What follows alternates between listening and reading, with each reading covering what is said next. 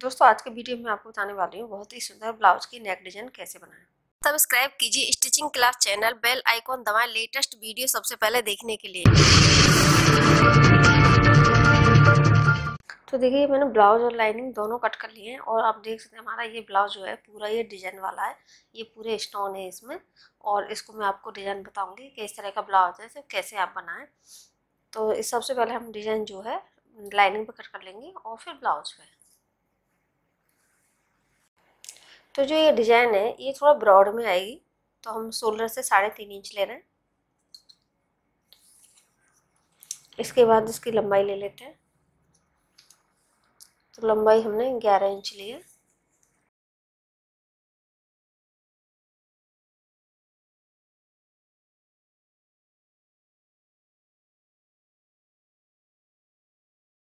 तो ये कुछ इस तरह से आएगी, हमारी डिज़ाइन जो है, यहाँ से।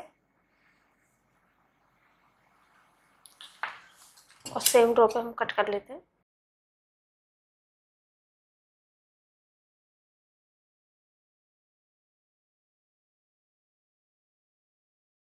तो देखिए डिज़ाइन हमारी कट चुकी है।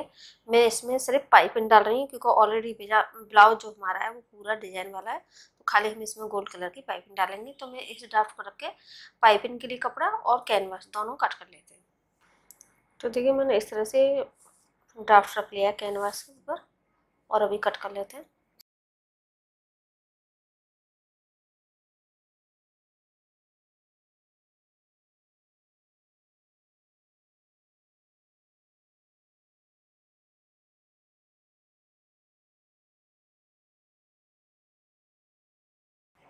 तो देखिए, मैंने कैनवास भी कट कर लिया है और पट्टी भी कट कर ली है। कैनवास भी। अभी आपको सिलाई का तरीका बताती हूँ।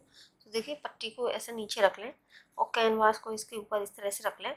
और यहाँ पर ऐसा एक्स्ट्रा लिया जो हाफ़ इंच इसको इस तरह से फोल्ड करते हुए पूरा राउंड में स्टिच डाल लें जब ये तैयार हो जाएगा, उसके बाद अभी हम ब्लाउज़ का बताते हैं तरीका कैसे सिलना है। ब्लाउज़ को उल्टा रख लें।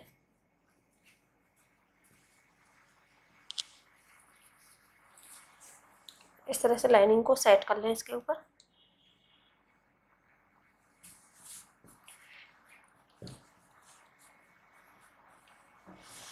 सेट हो जाए तो इसको पहले हाथ से या मशीन से पूरा स्टिच कर लें चारों तरफ़ से। और स्टिच करने के बाद फिर जो नेक है, इसको हम कट कर देंगे और जो हमने ये पट्टी तैयार करेंगे, इस पट्टी को स्टिच कर देंगे। तो देखिए, मैंने इसको कच्चा टाँका करके स्टिच कर लिया है चारों तरफ़ से और नॉर्मल जैसे प्लेट डालते हैं, प्लेट में डाल अब इस पीस को कट कर देते हैं।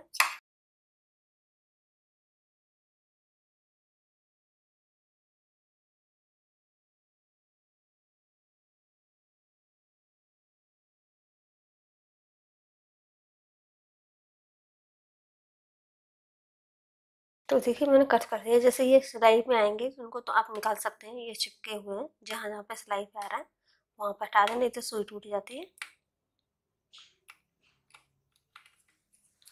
उसके बाद जैसे मैंने बताया था, ये पाइपिंग वाला कपड़ा भी मैंने तैयार कर लिया अभी इसको पॉइंट टू पॉइंट रख के स्टिच कर लेते हैं।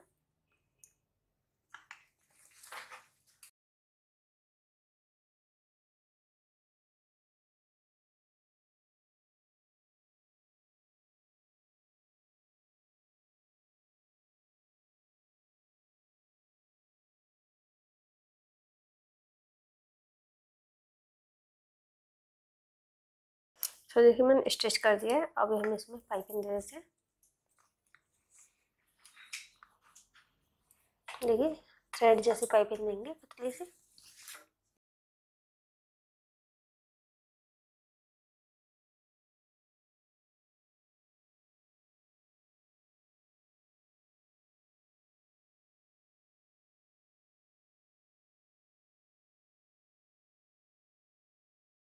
तो देखिए हमने पाइपिंग लगा दिया तो ये हमारा नेक तैयार हो गया। अभी नीचे भी मैं पाइपिंग देने वाली हूँ।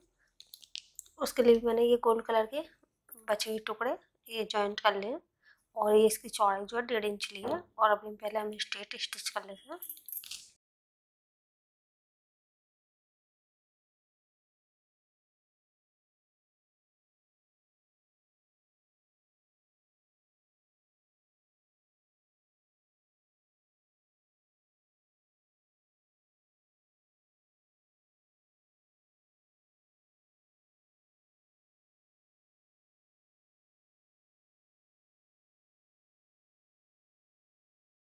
स्टिच कर दिया और अभी हम इसमें पाइपिंग दे रहे थे और बचा हुआ कपड़ा है, उसको इस तरह से फोल्ड करके और अंदर की पलट देंगे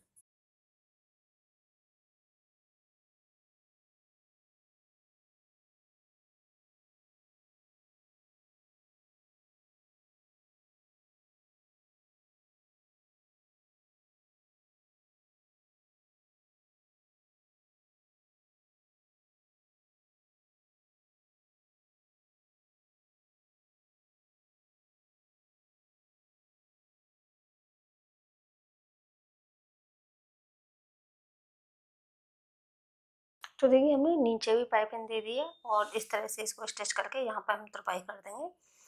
और देखिए, साइड फिटिंग करेंगे तो आप इस तरह से आएगा। आप चाहें तो इसमें डोरी लगा सकते हैं। और ये मैंने तीन गोल्ड बटन लिए जो मैं यहाँ पे इसको इस तरह से स्टिच कर दूँगी।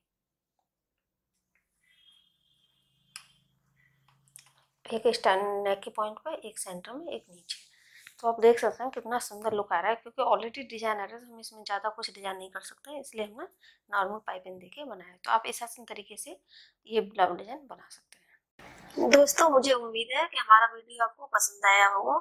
वीडियो को शेयर करें लाइक करें चैनल सब्सक्राइब करें। Thank you